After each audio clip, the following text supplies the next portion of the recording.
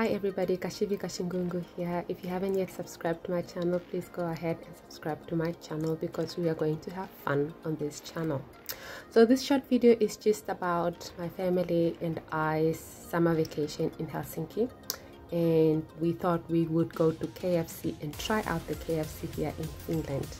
Uh, just for a bit of background, my family and I have been in Namibia before and we've tried the Namibian KFC now it was the perfect opportunity for, for us to try the Finnish KFC, which I had never tried before. And surprisingly, my family had never tried before, although they are also Finnish.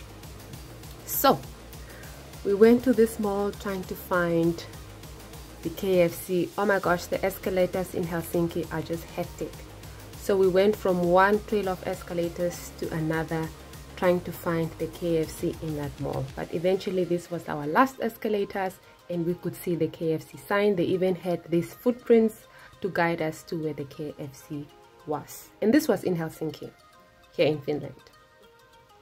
So we got to the KFC and you know, a lot of, you know, the KFC stuff is similar.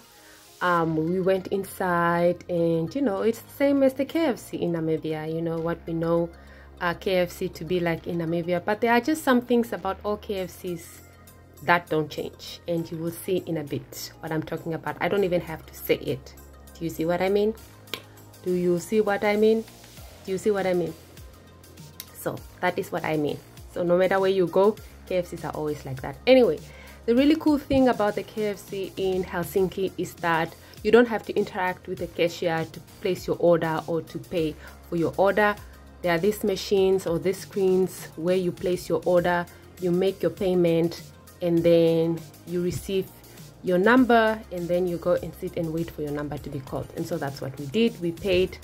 Our waiting number was 421 and we went outside where we sat to wait for our order. So we had been sightseeing in helsinki and i was really tired. We were all tired and hungry.